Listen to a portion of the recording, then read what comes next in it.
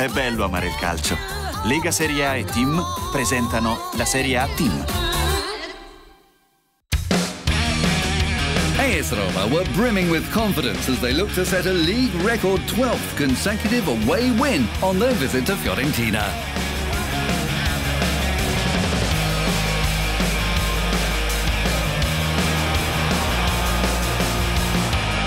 Shaarawy, edge area. Gerson's in here.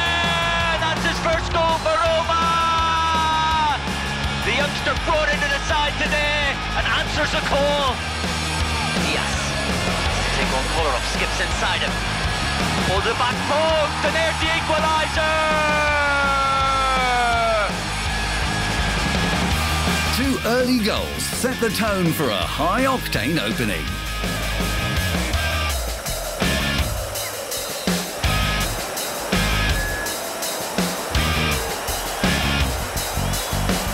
Gerson, who had been preferred to Diego Perotti and Cengiz Under, was an inspired choice as the young Brazilian netted his first and then second goal in Italian football.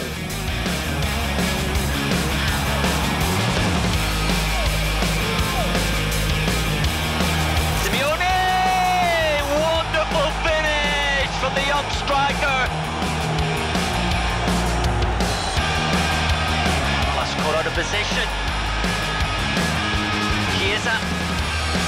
Off the post! Alisson with the the follow-up! Alisson again! A defensive lapse allowed the Viola to draw level again just before the break, but it was one-way traffic in the second half.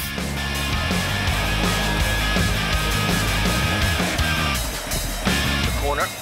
It's in. And it's into the back of the net. And it's Manolas somehow.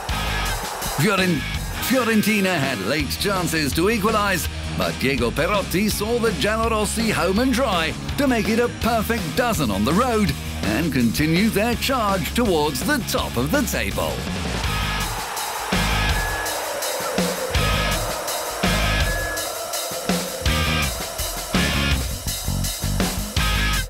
This is the team that I want to see. A team that plays together no matter the situation and whose hunger is never satisfied. I believe in the project. But what I like the most is that who has not played, not even for a few minutes, is training hard because he knows he might play the next game. It wasn't just by luck that Gerson stole the show today. I'm angry because we were more than holding our own against Roma. Our quality in attack was putting in trouble a defence that had conceded next to nothing all season. Against us, they were in difficulty. We created a lot of chances, but we allowed ourselves to be stretched, and we weren't as alert as we had to be in some situations.